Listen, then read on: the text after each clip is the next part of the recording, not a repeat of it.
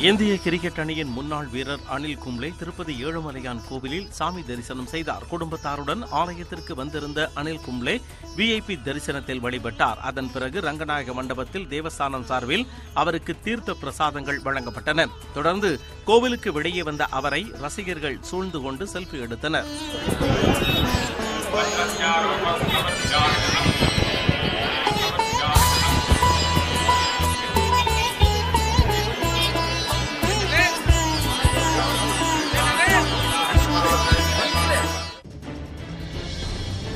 பீகாரில் நிலத்தகராறில் ஏற்பட்ட மோதலில் நபர் ஒருவர் துப்பாக்கியால் சுட்டதில் ஐந்து பெண்கள் காயமடைந்தனர். பீகார் மாநிலம் பெட்டியா அருகே நில உரிமை தொடர்பாக இருதரப்புக்கிடையே மோதல் ஏற்பட்டது.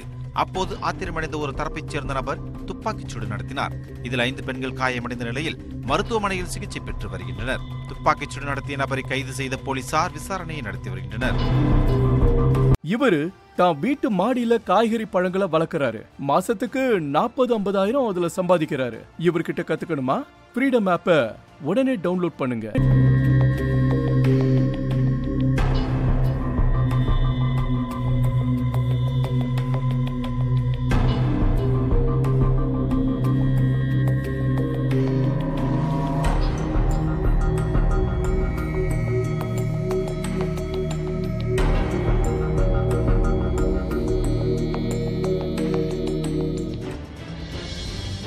குஜராத்தில் பாராகிளைடிங் சாகசத்தில் ஈடுபட்ட நபர் கீழே விழுந்து உயிரிழந்தார். தென்கொரியாவைச் சேர்ந்த ஷின் பேங்முன் என்ற நபர் குஜராத்தில் உள்ள விசத்புரா என்ற பகுதியில் பாராகிளைடிங் சாகசத்தில் ஈடுபட்டிருந்தார்.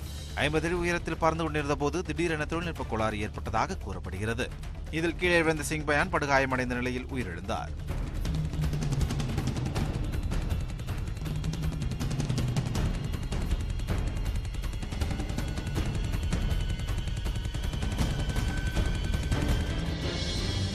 நேபாளத்தின் புதிய பிரதமராக மாவோயிஸ்ட் கம்யூனிஸ்ட்